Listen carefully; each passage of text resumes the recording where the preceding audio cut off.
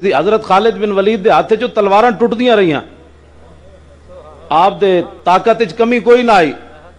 तो आपने ये नहीं कहा यह तो फकीर की अपनी ताकत है। फकीर क्या बात है?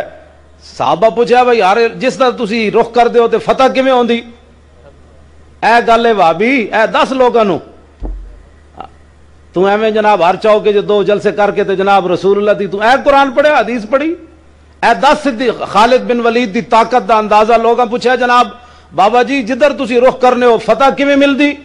ਤਲਵਾਰਾਂ ਕਿਵੇਂ ਟੁੱਟਦੀਆਂ ਤੇ ਆਪਨੇ ਇਹ ਨਹੀਂ ਫਰਮਾਇਆ ਕਿ ਜਨਾਬ ਮੇਰੇ ਪਿਓ ਦਾਦੇ ਬੜੇ ਦਲੇਰ ਹੈ ਤੇ ਮੈਂ ਜਨਾਬ फलाना कुश्ता खाना तो मेरे फकीर के हाथ की फरमाया ना ना खालिद का कोई कमाल नहीं खालिद के सर पर एक टोपी है जिसमें हजूर के बाल हैं जिसकी वजह से